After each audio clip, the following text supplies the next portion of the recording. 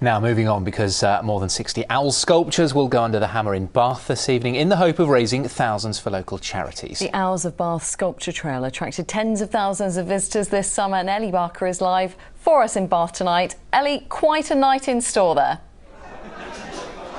Oh, Kylie, Jonty, what a night it's going to be. I bet you both wish you were here, but do not worry. I'm going to take you on the tour. Have a look at this. We've got 61 hours here in total. The fizz is flowing, the crowd is gathering.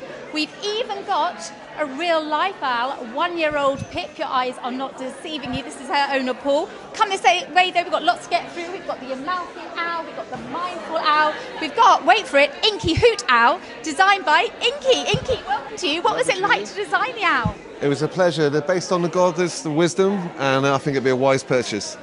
Very good. Very good. The artists are gathering.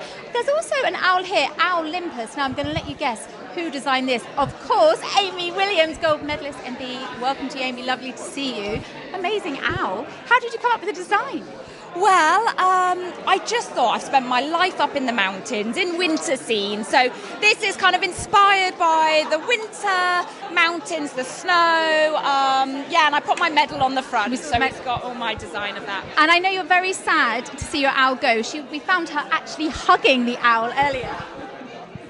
We wish you luck with it tonight. I hope you have a lovely evening. Thank you. Yeah, I really hope loads of money gets raised for all these great charities. So fingers crossed. Okay, fabulous. Well, look, we've got more to go through. Have a look. We've got some more artists gathering here. We've got the crowd.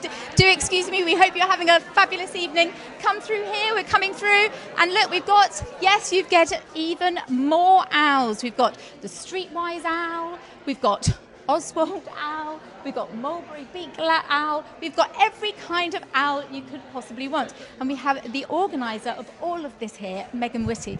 Megan, welcome to you. Sorry to interrupt your evening. Megan, I mean, you're raising money for four different charities, fingers crossed so far. I mean, what a fabulous success it's been. Well, it's been brilliant over the summer. We've had owls all over Bath and all over the surrounding region, and beautiful weather, and thousands of people have been flocking to Bath. You know, kids, families, uh, retired people, people from all over the world have been getting in touch saying they want to bid tonight. Canada, America, Paris. they came here in the summer and they saw them on the trail. Um, so there's still time for anyone to bid. Um, we have online bidding, so it'd be great if as many people as possible could put in a bid, and we want to raise as much as we can for our charities. I know you can't put a figure on it, but can you kind of give me an idea? I don't know at all. The more people that bid, the more money we'll make. Okay, well, it all starts at 70, 7.45. Who knows what's going to happen? okay, Ellie Barker, thanks so much for that. She went on a whistle stop tour, didn't yeah, she? Yeah, she needed to lie down after that.